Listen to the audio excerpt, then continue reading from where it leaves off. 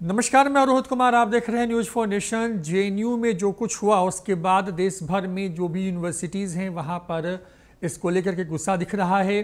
तो सियासी तौर पर भी इसको लेकर के एक तरफ़ जहाँ उस हिंसा को लेकर के विरोध तेज हो गया है, वहीं दूसरी तरफ़ कुछ लोग ऐसे भी हैं जो इस हिंसा को कहीं ना कहीं दबे शब्दों में जायज़ भी ठहरा रहे हैं।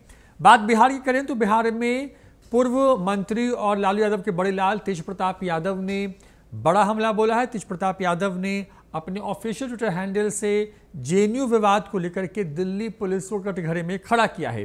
तेज प्रताप यादव ने जो ट्वीट किया है, उसमें तेज प्रताप यादव लिखते हैं कि जेएनयू में गोडसे के वंशजों ने ज्ञानशील और एकता का परिचय देते हुए छात्रों के ऊपर जानलेवा हमला किया है। छात्रों के ऊपर डंडे बरसाने वाली दिल्ली पुलिस अगर इन दंगाइयों के खिलाफ सख्त कार्रवाई नहीं कर सकती है तो खाकी वर्दी त्याग कर संघ की शाखा में ड्यूटी करें। और हैशटैग इस्तेमाल किया है स्टे स्ट्रॉन्ग जे आपको बताएँ कि जेएनयू में बीते मंगलवार को कुछ नकाबपोश लोग जो हैं कैंपस में दाखिल होते हैं। उसके बाद वहाँ के छात्रों के ऊपर में वहाँ पे जो फैकल्टीज़ थे उनके ऊपर में हमला होता है। कुछ लोगों को गंभीर चोटें आती हैं। उस मामले के बाद से कुछ ही मिनटों में इस पर सियासत तेज हो जाती है। लगातार केंद्र की मोदी सरकार के साथ साथ आरएसएस और दूसरी जो हिंदू संगठन है, इसको इस पूरी हिंसा के लिए दोषी ठहराया जा रहा है।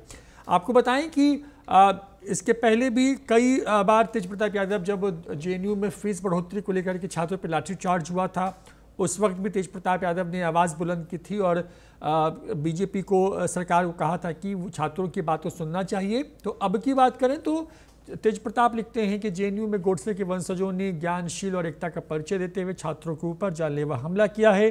छात्रों के ऊपर डंडे बरसाने वाली दिल्ली पुलिस अगर इन दंगाइयों के खिलाफ सख्त कार्रवाई नहीं कर सकती है तो खाकी वर्दी त्याग कर संघ के शाखा में ड्यूटी करें और ये लिखने की कोशिश की है और उसके नीचे में कुछ कमेंट्स भी हैं जिसमें कुछ सवाल हैं, कुछ समर्थन में हैं। ये तमाम चीज़ें हैं। तेज प्रताप यादव ने जिन शब्दों का इस्तेमाल किया है, वो अपने आप में बता रहा है कि वो काफ़ी आक्रामक हैं इस मामले को लेकर के।